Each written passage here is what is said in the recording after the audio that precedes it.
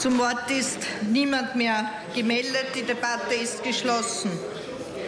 Wir kommen nunmehr zur Abstimmung über den Antrag äh, der Abgeordneten Strache, Kolleginnen und Kollegen, dem Verfassungsausschuss zur Berichterstattung über den Antrag 1573a der Abgeordneten Hofer, Kolleginnen und Kollegen betreffend ein Bundesverfassungsgesetz über die Freiheit zu unbeschränkten Verwendung vom Bargeld im Zahlungsverkehr eine Frist bis 26. April 2016 zu setzen. Wer dafür ist, den bitte ich um ein Zeichen.